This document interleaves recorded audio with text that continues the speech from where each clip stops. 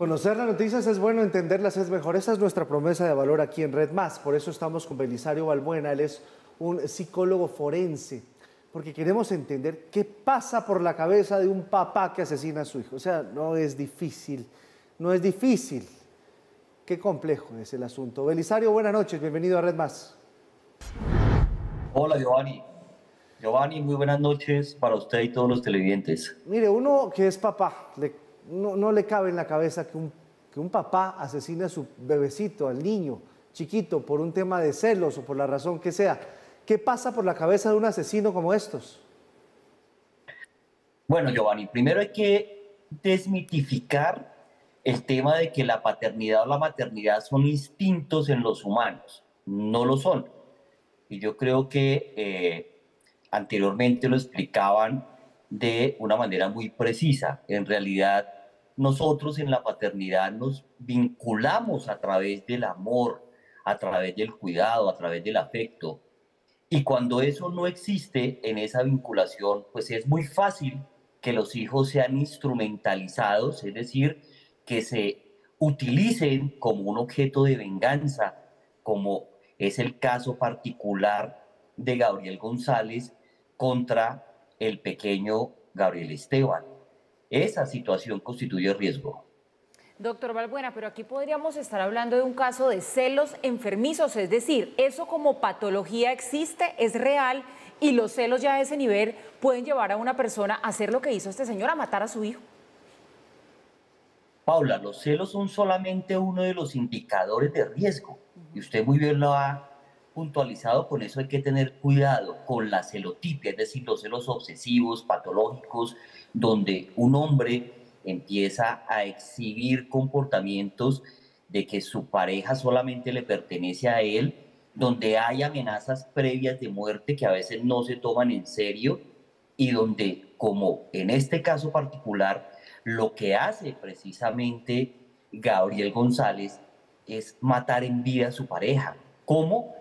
A través del homicidio de su propio hijo, para que le duela toda la vida porque ella se atrevió a rehacer su vida con otra persona, porque ella lo denunció en las comisarías de familia, porque ella pidió una medida de protección para ella, lamentablemente no lo hizo para su hijo, esa es una lección aprendida, creo yo, que debemos precisamente tomar en cuenta las mujeres que estén en riesgo de violencia intrafamiliar, no solamente la violencia va a ser hacia ellas, ahora se habla del término de violencia vicaria, es decir, donde también se utilizan a sus propios hijos para hacerle un daño irreparable a las mamás.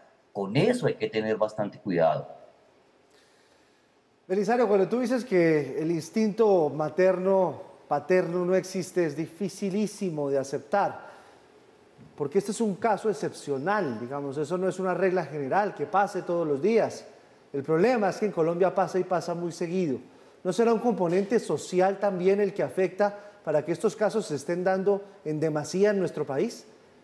Me perdonas, pero yo no tengo memoria de otros países donde pasen y pasen tan seguido estos casos donde los papás matan a sus hijos, a sus bebés. No, Giovanni, sí, ocurre. Lo que pasa es que eh, cuando hay casos como este que se vuelven eh, tan fuertes, pues se conocen de manera mediática pero son más comunes de lo que se cree. Y no es un tema que solamente esté regionalizado en Colombia, en Latinoamérica. Tenemos casos que han ocurrido, por ejemplo, en Alemania, en Inglaterra, en los Estados Unidos, de padres que no solamente asesinan a uno, sino a dos, tres, cuatro hijos, a los que tienen, solo con el objeto de tener una situación revanchista de venganza o incluso de eh, haberse hartado de sus hijos y no hacerse responsables de ellos porque tienen un amante eh, o porque tienen alguna situación psiquiátrica, en especial ocurre con mujeres, y deciden asesinar a sus hijos, ahogarlos, deshacerse de ellos. Es una situación bastante compleja que sin lugar a dudas resulta ser disruptiva porque atenta contra lo que los seres humanos pensamos y creemos es el núcleo de la sociedad la familia y lo que la construye, el amor en la familia. Doctor Balbuena, ¿por qué este modus operandi eh, que utilizó el señor eh, Gabriel González? Porque eso ha llamado mucho la atención. ¿Por qué dejar una USB en la que contaba que iba a matar a su hijo? ¿Por qué después enviarle a la mamá un chat donde le contaba cómo lo mató, detallando cosas dolorosísimas? ¿Qué perseguía con eso? Paula, pues, pues uno desde la perspectiva forense lo lee como una torpeza, ¿sí? Pero desde la perspectiva del análisis criminológico, encontramos que todo esto lo hizo con el único objeto de lastimar a su expareja. Era mostrarle el poder que él podía tener sobre la vida de su hijo y cómo le iba a lastimar. Fíjense cómo con tanta precisión le dice 3 y 55 de la noche o de la madrugada, eh, asfixié mecánicamente al niño y él no sufrió. Eso es mentira. Una asfixia mecánica es absolutamente tortuosa. El niño sufrió, pero ¿qué hizo él? Disfrutó con la muerte de su propio hijo para hacerle daño a su expareja y para hacerle daño de por vida. Ese es el mensaje final. Es perverso. No, es, es asqueroso. Es asqueroso, realmente. Perturbador, sin duda. Tremendamente perturbador y que pase en Colombia tantas veces es doblemente perturbador. Ahora, Belisario, no es un tema también, vuelvo, insisto, en el tema social. ¿Algo pasa en nuestra sociedad colombiana para que pasen estas cosas? Quiero insistir en la pregunta. No veo estas noticias en Panamá, en Perú, en Ecuador, en Argentina, en Brasil. ¿Por qué todas en... ¿Algo pasa en el componente social colombiano? ¿Será el conflicto armado?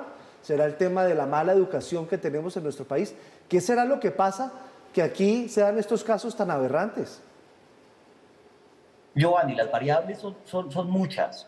¿sí? Dentro de esas, sin lugar a dudas, hay un elemento de descomposición social que habla de la anomia, por ejemplo, de que ya hoy día lamentablemente no se educa en valores, no se educa en respeto, y el respeto no es solamente de los hijos hacia los padres, sino también de los padres hacia los hijos.